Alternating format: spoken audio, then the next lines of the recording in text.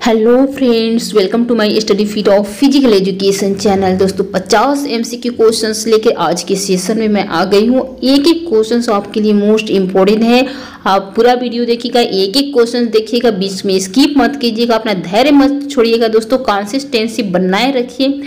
And दोस्तों physical education के किसी भी कंपटीशन एग्ज़ाम का प्रिपरेशन कर रहे हैं तो मेरे चैनल पे सभी प्रकार के वीडियोज़ अवेलेबल है। थ्योरी सेशन टॉपिक वाइज सभी डिटेल में पढ़ाया गया है। And chapter wise MCQ question का प्रैक्टिस कराया गया है and previous year questions practice and BPSC TR two में मैंने उन्यासी ऐसी वीडियोज़ का इंग्लिश हिंदी में प्रैक्टिस कराया हुआ है और मैं 2024 के सेशन में ये आपका चौवनवा पार्ट है।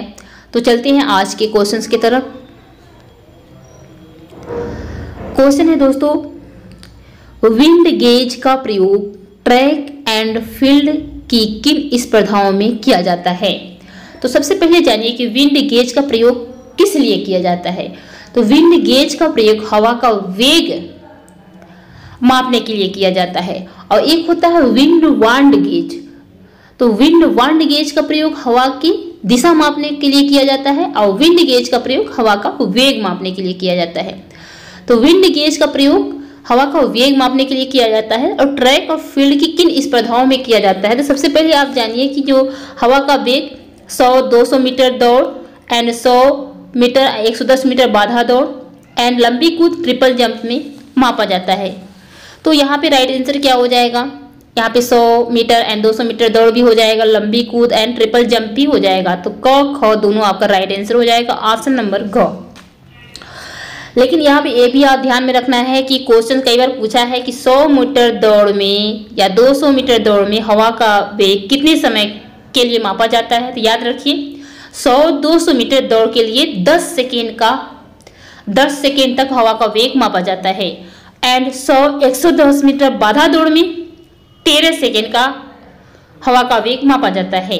लंबी कूद, ट्रिपल जंप में पाँच सेकेंड के लिए हवा का वेग मापा जाता है, जैसे कि यूपी टीजीटी 2021 में लंबी कूद एंड ट्रिपल जंप में हवा का वेग पूछा था। नेक्स्ट क्वेश्चन है एंकर रनर का संबंध किस खेल तथा किस स्पर्धा से है?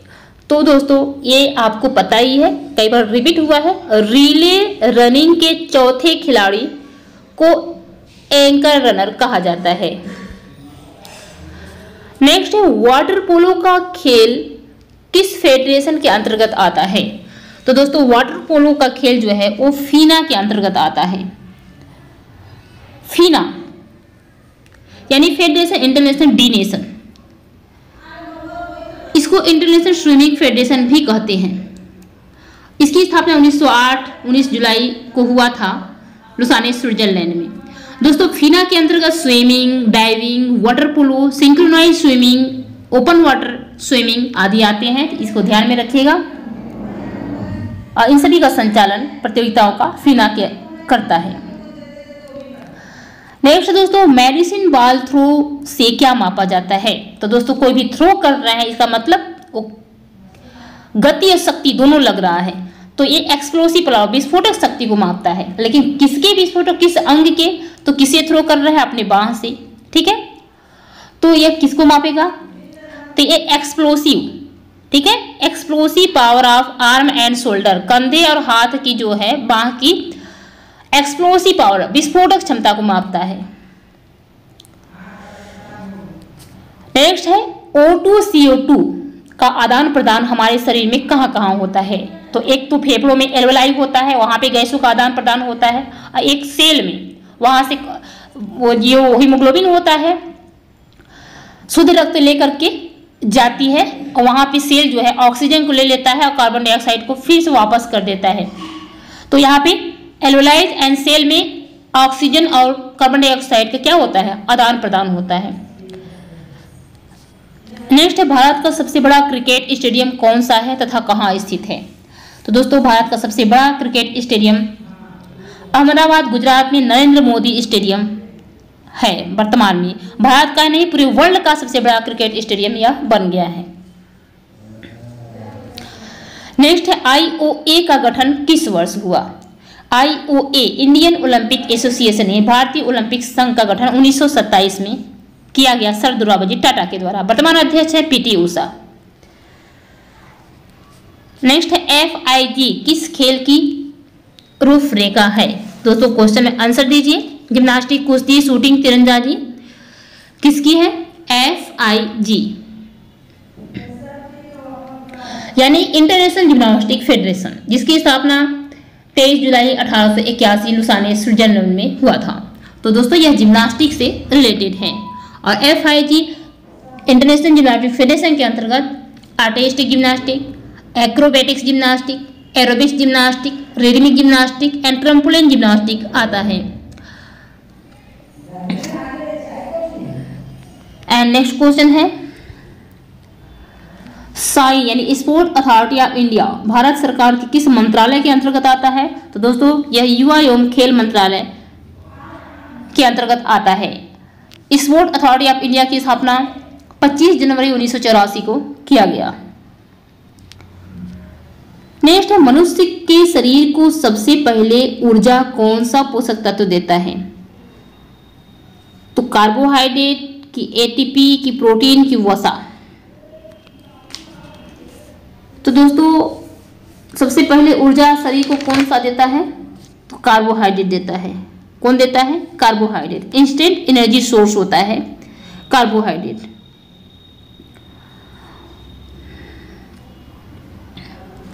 नेक्स्ट है नॉकआउट टूर्नामेंट में अगर 27 टीमें हैं और चार टीमों को सुपर सीड किया जा रहा हो तो पहले राउंड में कितने मैच होंगे? तो दोस्तों, यहाँ पे आपको याद रखना है सुपर सीडिंग उसको दिया जाता है कि टूर्नामेंट के रोमांच को और अधिक बनाए रखने के लिए टीमों को सुपर सीडिंग दिया जाता है। यदि टीमों की संख्या बहुत ज़्यादा होती है, तब ऐसा किया जाता है। सुपर सीडिंग जो प्राप्त अच्छी टीमें होती हैं, वो सीधे अगले राउंड क्वार्टर फाइनल में खेलती हैं। तो यहाँ पे आपको ध्यान देने वाली बात यह है कि पहले राउंड में टीमों की संख्या ज्ञात करने का सूत्र होता है N minus number of by upon two तो सत्ताईस टीमें हैं तो क्या हो जाएगा टू के पावर फाइव यानी कि बत्तीस माइनस सत्ताईस। तो कितना आ जाएगा? बत्तीस माइनस सत्ताईस तो पाँच आ जाएगा, यानी कि बाई कितना दिया जाएगा? पाँच। इतना तो क्लियर हो गया, ठीक है? बाई पाँच दिया जाएगा, सूत्र क्या होता है? N minus number of by upon two तो एन कितना है? सत्ताईस है। नंबर ऑफ़ बाई कितना दिया जा रहा है? पाँच दिया रहा दिया जा रहा है अपॉन टू सत्ताईस में से पाँच आप घटाएँगे, कितना बचेगा दोस्तों? बाईस, यानी बाईस बटा दो। यानी कि कितना आया? ग्यारह। तो यानी कि पहले राउंड में कितने टीम खेल रहे हैं? ग्यारह टीमें ठीक? तो यहाँ पे पहले राउंड में ग्यारह टीमें आ गए, ठीक है? पहले राउंड में 11 टीमें आपकी खेल रही हैं। ये आ गया, लेकिन अब कह रहा है उस 11 टीमों में से चार टीमों को सुपर सीडिंग दिया जा रहा है। तो 11 में से आप चार घटाएँगे, कितना आएगा दोस्तों? सात आ जाएगा। तो कुल कितने? पहले राउंड में मैच खेले जाएँगे। तो क्या आंसर हो जाएगा? सात मैच आई होप कि आपको समझ में आया होगा। पहले राउंड की कुल टीम ज्ञात कर लीजिए। ग्यारह आया। उसमें से आप जितना सुपर सीडिंग दिया गया है, घटा दीजिए। आ जाएगा आंसर आई होप कि आपको समझ में आया होगा। नेक्स्ट है हाफ़ मैराथन की दूरी कितनी होती है? सबसे पहले जानिए कि मैराथन की दूरी कितनी होती है? बयालीस दशमलव एक नौ पाँच किलोमीटर, यानी छब्बीस मील तीन सौ पचासी गज। और उसका हाफ़ कर दीजिए। तो क्या हो जाएगा? इक्कीस दूना बयालीस, यानी इक्कीस दशमलव zero nine seven kilometre. Next है, शरीर की सबसे छोटी अंतःस्रावी ग्रंथि इंडोक्राइन ग्लैंड कौन सी होती है? दोस्तों, यहाँ पे जब पिनियल ग्लैंड दिया रहेगा तो पिनियल ग्लैंड सबसे छोटी ग्रंथि होगी अंतःस्रावी। जब पिनियल ग्लैंड नहीं दिया रहेगा तो वहाँ पे पिट्यूटरी ग्लैंड यानी कि पीयूष ग्रंथि हो जाएगी सबसे छोटी। अब पीयूष ग्रंथि को मास्टर ग्लैंड इसलिए कहा जाता है क्योंकि वो अन, अन्य सभी अंतःस्रावी ग्रंथियों का नियंत्रण करती है। नेक्स्ट दोस्तों आर्बिटर का संबंध किस खेल से है? तो दोस्तों आर्बिटर का संबंध जो है शतरंज के रेफरी से है। किससे है? शतरंज के रेफरी से है ये याद रखिएगा। नेक्स्ट विटामिन बी ट्वेल्व की कमी से कौन सा रोग होता है?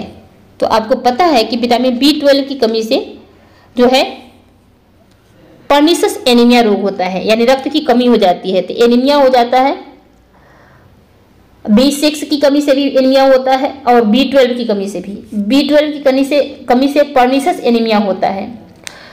विटामिन बी ट्वेल्व का रासायनिक नाम है साइनो कोबाल्बिन एकमात्र विटामिन होता है जिसमें कोबाल्ट धातु सहयोगी तत्व के रूप में कार्य करता है। बी ट्वेल्व जो है रक्त निर्माण में सहायक होता है और डीएनए के संश्लेषण में भी सहायक होता है तो याद रखिएगा। एंड नेक्स्ट क्वेश्चन है, लेप्रोसी कोढ़ किसके कारण फैलता है? तो दोस्तों, लेप्रोसी को कोढ़ या हैंसेस डिज़ीज़ भी बोला जाता है यह बैक्टीरिया के कारण फैलता है। किसके कारण? बैक्टीरिया के कारण। वो भी किस बैक्टीरिया के कारण? माइक्रो बैक्टीरियम लेप्री बैक्टीरिया के कारण।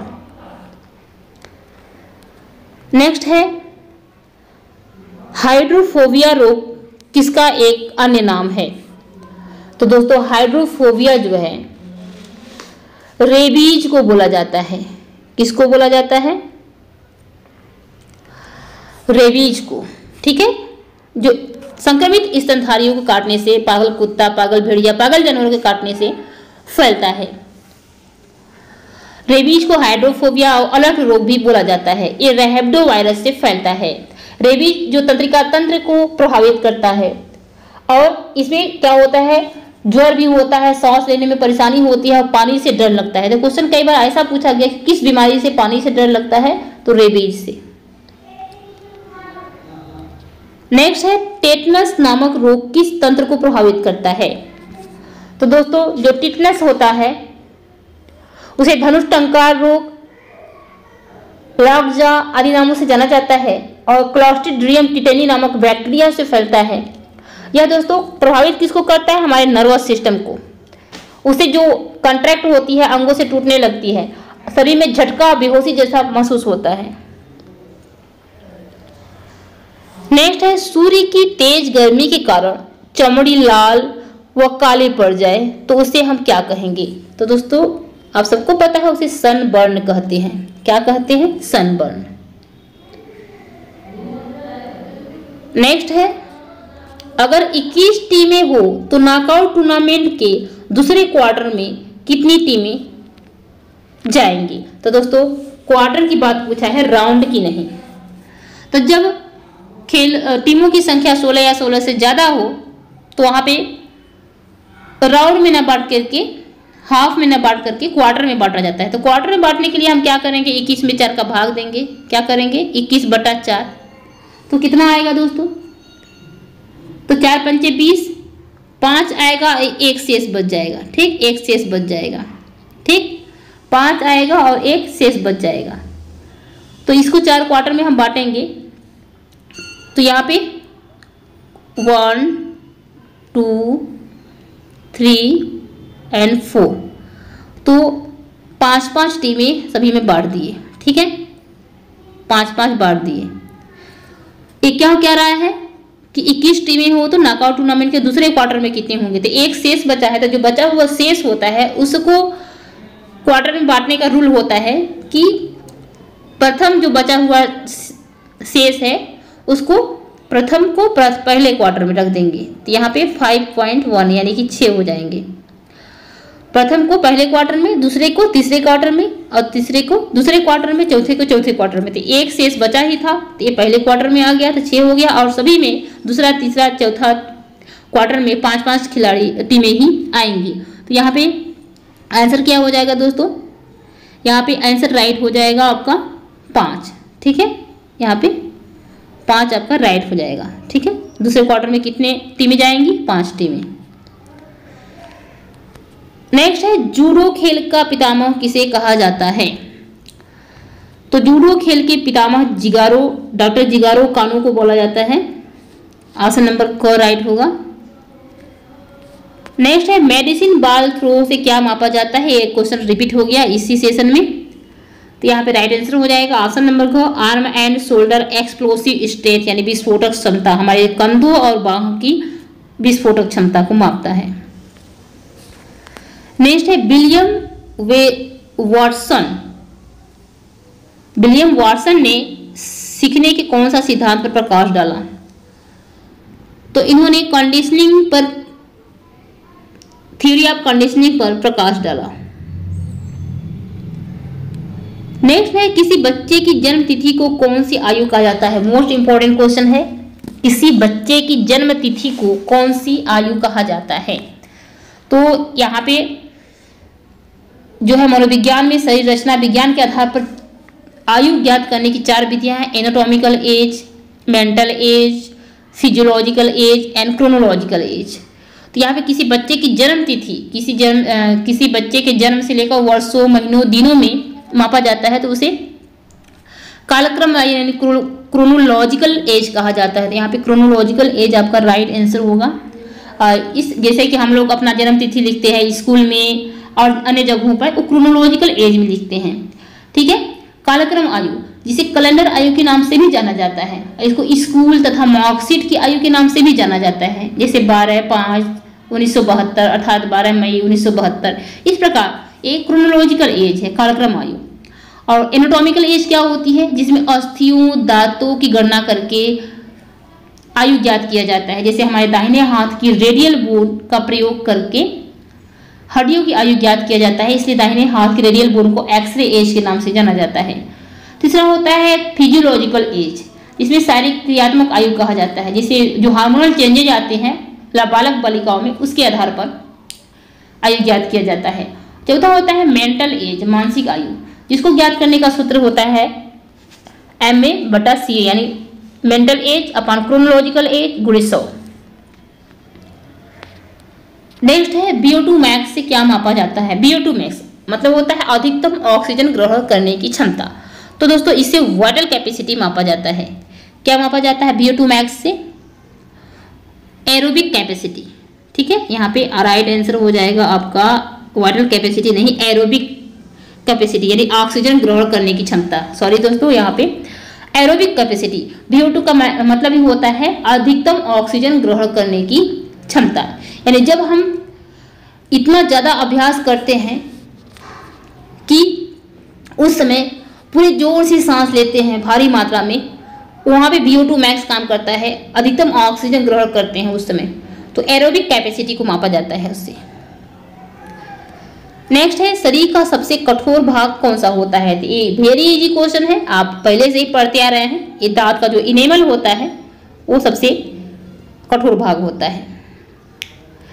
नेक्स्ट है, पहली बार किस ओलंपिक में शपथ लिया गया? तो मैं आपको दो तीन बार या हर बार बताई हूँ। उन्नीस सौ एंटवर ओलंपिक में शपथ भी लिया गया और ओलंपिक झंडे को भी फहराया गया। नेक्स्ट है ए सी एल इंजरी का संबंध शरीर के किस भाग से है? तो दोस्तों ए सी एल का मतलब होता है एंटीरियर क्रूसिएट लिगामेंट ठीक है? क्या होता है? एंटीरियर क्रूसिएट लिगामेंट या घुटने के बीच में होता है यह पिंडली की हड्डी को जाओ की हड्डी के सामने खिसकने से रोकता है। और जो है, पुरुषों की तुलना में महिलाओं में एसीएल फटने की संभावना अधिक होती है। तो ये एसीएल जो इंजरी होता है, कहाँ पे लगता है? नी यानी कि घुटने में लगती है। नेक्स्ट है, हेरिडिटी यानी वंशानुक्रम से प्राप्त मधुमेह यानी डायबिटीज़ को क्या कहा जाता है? तो दोस्तों, डायबिटीज़ इंसुलिन की कमी से होता है, लेकिन जो वंशानुक्रम एक पीढ़ी से दूसरे पीढ़ी में जाता है, उसको टाइप टू डायबिटीज़ कहा जाता है। नेक्स्ट है एथलेटिक्स में ट्रैक एंड फ़ील्ड में हेड और टेल विंड का प्रयोग किस स्पर्धा में किया जाता है? तो दोस्तों, ये जेवलिन में किया जाता है जेवलिन में। नेक्स्ट है प्रोटीन का सबसे अच्छा स्रोत किसे माना जाता है? तो ये जितना ऑप्शन दिया है, उसमें सोयाबीन में सबसे अच्छा स्रोत माना जाता है प्रोटीन का। नेक्स्ट है 100 मीटर दौड़ के लिए टाइम कीपर घड़ी को क्या देखकर स्टार्ट करते हैं? तो चिंगारी या फायर, ठीक है? चिंगारी यानी फायर की जो होती है, चिंगारी को देखकर स्टार्ट करते हैं। नेक्स्ट है किस खेल में स्विस स्कोर सिस्टम का प्रयोग किया जाता है। तो दोस्तों, शतरंज में, चेस में स्विस स्कोर सिस्टम का प्रयोग किया जाता है। नेक्स्ट है कोलेजियम, यानी स्नान गृह थर्न फ्रॉक बाथ। किस देश से लिया गया है? तो ये रोम से है दोस्तों रोम से संबंधित है, जबकि मड बाथ कीचड़, स्नान पूर्व एथेंस काल से संबंधित है। नेक्स्ट है, जिस प्रकार यूनान की भाषा को ग्रीक कहा जाता है तो रोम की भाषा को क्या कहा जाता है? तो दोस्तों, यूनान की भाषा को ग्रीक कहा जाता है तो रोम की भाषा को लैटिन बोला जाता है।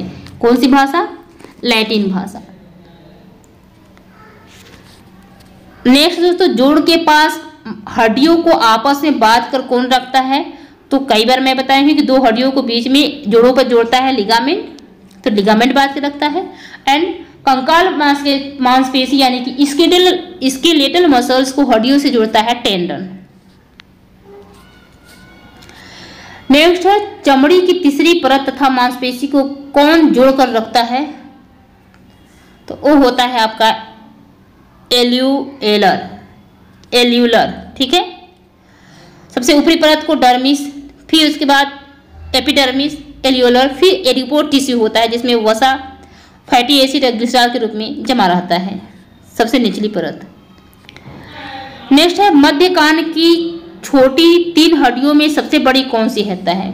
तो कान के अंदर तीन हड्डियाँ पाई जाती हैं।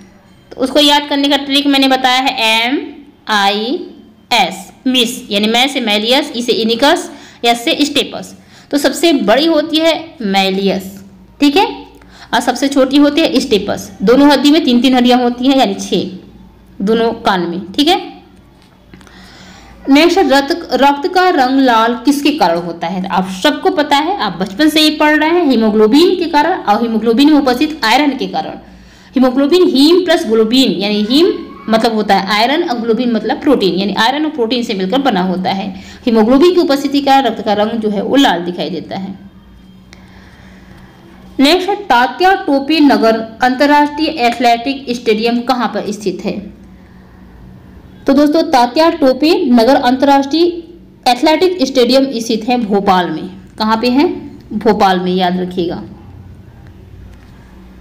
नेक्स्ट है एस बॉग हॉकी अंतर्राष्ट्रीय स्टेडियम कहाँ पे स्थित है? तो एस बॉग हॉकी अंतर्राष्ट्रीय स्टेडियम जो है वो, यह भी है आपका भोपाल में, मध्य प्रदेश, भोपाल में। नेक्स्ट है, शरीर का सबसे बड़ा अंग कौन सा है दोस्तों? तो आप भूल कर भी लीवर मत लगाइएगा, क्योंकि जब कहेगा कि शरीर का सबसे बड़ा, बड़ी ग्रंथि कौन है, तब लीवर होगा। सबसे बड़ा अंग की बात करेगा तो त्वचा होगा। और सबसे बड़ी ग्रंथि की बात करेगा तो लीवर होगा, यानी यकृत। सबसे बड़ी अंतःस्रावी ग्रंथि की बात करेगा, थायराइड होगा। तो सभी में डिफरेंट समझिएगा। नेक्स्ट है, अंग्रेज़ी में डिस्कस की स्पेलिंग क्या होगी दोस्तों? तो ऐसा क्वेश्चन तो पूछेगा नहीं। तो ऑप्शन नंबर ग यहाँ पे राइट होगा D I S C U S next है रनिंग डिस्टेंस रेडियस कितना होता है अगर 80 मीटर का सीधा ट्रैक हो? तो दोस्तों 400 मीटर ट्रैक बनाने के लिए 80 मीटर सीधा ट्रैक होता है। तो इसके लिए जो रेडियस होता है रनिंग डिस्टेंस वो अड़तीस दशमलव एक आठ मीटर होता है। तो इसको एक अलग से वीडियो में बनाया जाएगा दोस्तों, जो आपके रनिंग होता है, जो ट्रैक एंड फ़ील्ड होता है ट्रैक होता है बनाने का जो फार्मूला नेक्स्ट है विंड विंड पाइप का दूसरा नाम क्या है? तो दोस्तों, जो हमारे ट्रैकिया होती है, श्वास नली, उसी को विंड पाइप कहा जाता है तो ट्रैकिया को कहा जाता है। नेक्स्ट है मिलेनियम ओलंपिक किसे कहा जाता है? तो दोस्तों, Sydney Olympic, Sydney Australia Olympic को, जहाँ पे सबसे पहले डोपिंग के विरुद्ध शपथ लिया गया था। नेक्स्ट है, आँख का कौन सा भाग दान दिया जाता है? तो आप सबको पता है, आँख का कार्निया जो है, वो दान दिया जाता है, जो सबसे ऊपर दिखाई देता है, गोल गोल भूरे भूरे कलर के ऊपर, जो सबसे ऊपर शीशे टाइप का होता है, उत्तल प्रकार का जो कॉर्निया होता है आँख में, वही दान किया जाता है, क्योंकि कॉर्निया ही खराब हो जाती है तो हमें दिखाई नहीं देता। नेक्स्ट है, प्रथम वर्ल्ड टी ट्वेंटी कप का आयोजन कहाँ किया गया था? तो प्रथम वर्ल्ड टी ट्वेंटी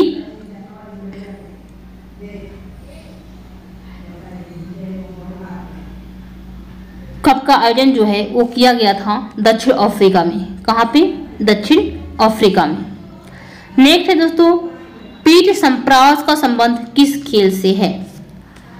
तो पीठ संप्रास का संबंध जो है वो टेनिस से है। नेक्स्ट है डेविस बेकहम किस खेल से संबंधित है? तो आप सबको पता है डेविस बेकहम जो है वो फुटबॉल से रिलेटेड हैं। तो दोस्तों, ये था आज के सेशन में 50 एमसीक्यू क्वेश्चंस जो आपके लिए मोस्ट मोस्ट इंपॉर्टेंट है। आई होप कि सभी क्वेश्चंस आपको समझ में आया होगा, जो भी डाउट होगा कमेंट में बताइए और ज़्यादा से ज़्यादा वीडियो को शेयर भी कीजिए दोस्तों। तो मिलते हैं नेक्स्ट वीडियो प्रैक्टिस में, तब तक के लिए जय हिंद।